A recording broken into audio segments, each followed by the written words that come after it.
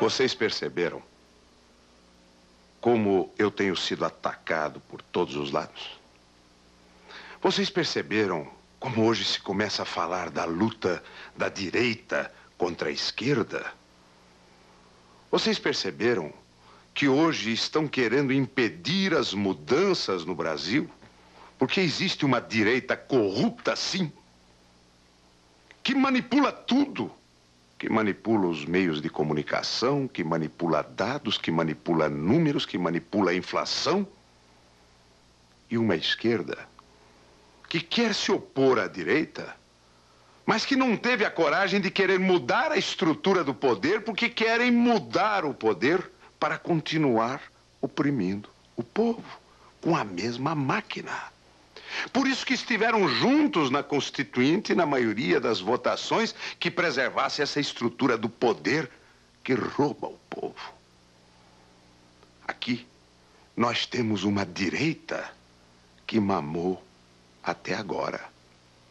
Temos uma esquerda que, em nome das mudanças, quer mamar daqui para frente.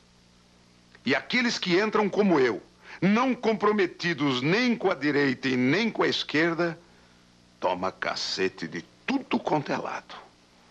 Com a injúria, com a calúnia, com a difamação, promovida por estas estruturas, tanto de direita quanto de esquerda, comprometidas com a estrutura do poder. Não. Vocês não vão conseguir que eu recue, não. Vocês não vão abater minha moral, não. Eu não estou acreditando naquilo que vocês querem induzir o povo.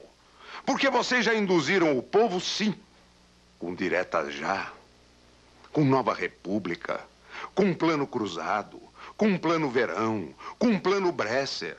A opinião pública sendo manipulada e você, meu querido brasileiro, sofrendo.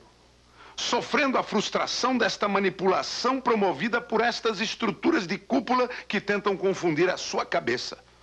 Mas eu não vou recuar principalmente por sua causa, jovem. Você que hoje abraçou a minha bandeira. Você que de graça foi para as ruas com a bandeira em punho, com uma camiseta, acreditando no momento novo do Brasil. É por você que eu vou continuar na luta e vamos às ruas sim. Não vamos recuar porque estamos querendo construir um novo momento para o Brasil. Nós queremos acabar com este atraso, porque direita e esquerda são atraso. Nós vamos para a modernidade, nós vamos para o novo, vamos com a juventude, vamos com as mulheres, vamos com as crianças e com aqueles homens que acreditam que podem mudar. É por isso que eu estou aqui. E é por isso que a nossa mensagem vai em frente, sim. Porque juntos chegaremos lá.